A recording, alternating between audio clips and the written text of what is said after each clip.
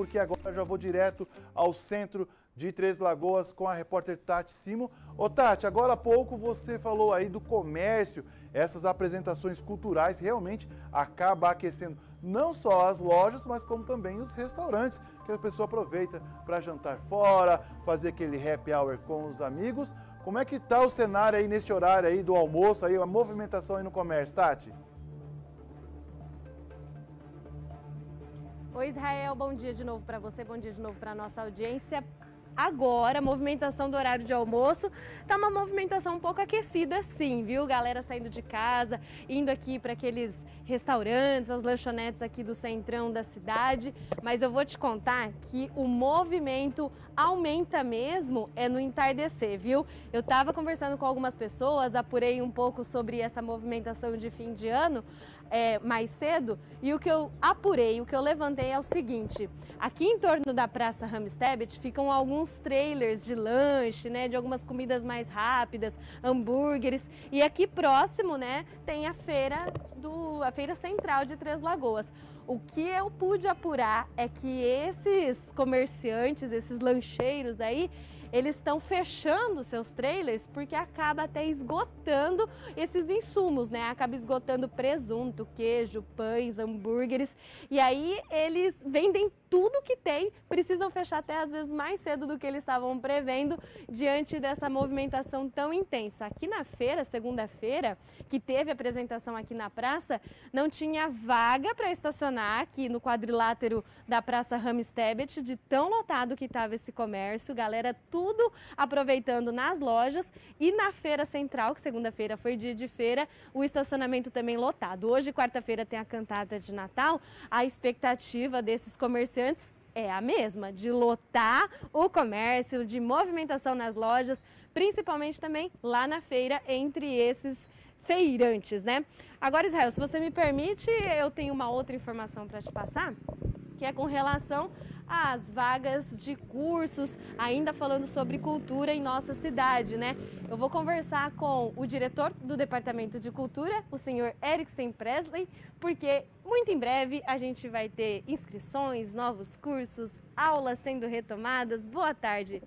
Boa tarde, boa tarde a todos os ouvintes. Realmente, 2022 é um ano que nós desejamos, né, realizar várias ações uma vez que nós em 2020 e 2021 tivemos nossas atividades pausadas, né, no, no modo híbrido, é, sem, presença, sem presença de público.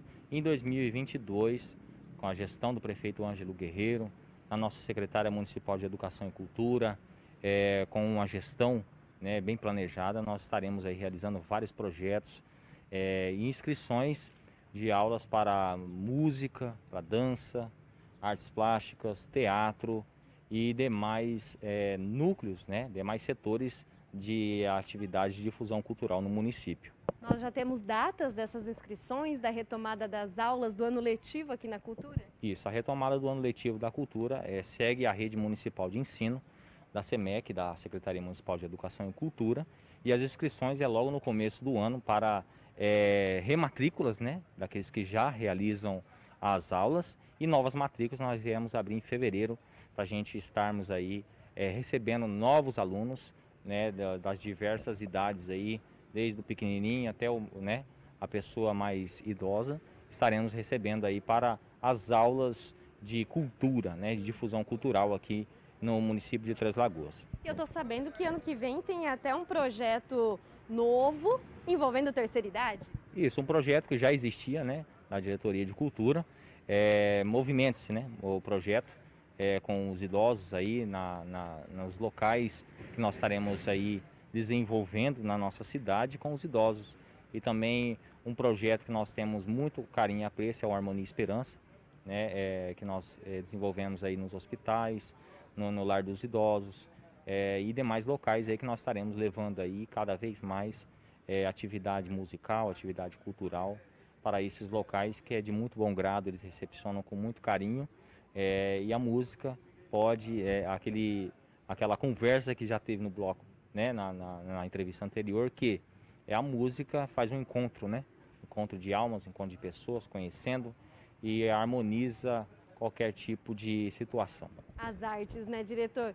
Bom, com relação à pandemia, né, a gente falou das aulas que foram aí para o formato híbrido. Nessa transição, muitos alunos acabaram desistindo? Tivemos uma certa evasão desses alunos? Com certeza, há uma certa evasão, uma vez que muitas pessoas ainda ficaram, né, um pouco ainda é, receosos com relação à pandemia, que acaba afetando o desempenho de qualquer ação, seja ela presencial.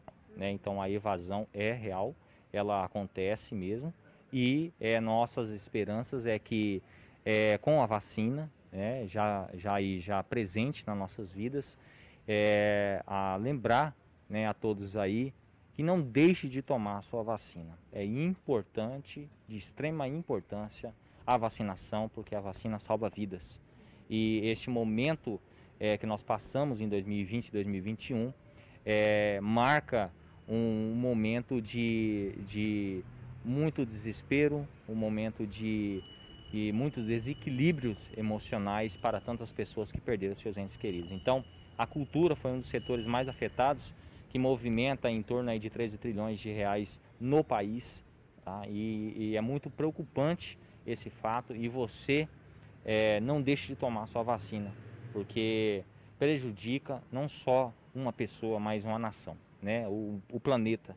E as atividades não podem parar, porque desenvolve é, coordenação motora de várias pessoas, a cultura, a difusão cultural, a música, seja ela em todas as artes, né? E dizer a vocês aí, todos estão convidados para estar inscrevendo nesses cursos. É, procure a nossa Secretaria Municipal de Educação e Cultura para mais informações na página da Prefeitura e da Diretoria de Cultura. Maravilha. E quando chegar esse período de inscrições, diretor, pode contar com a imprensa que a gente faz questão de divulgar, viu? Agradeço pelas informações.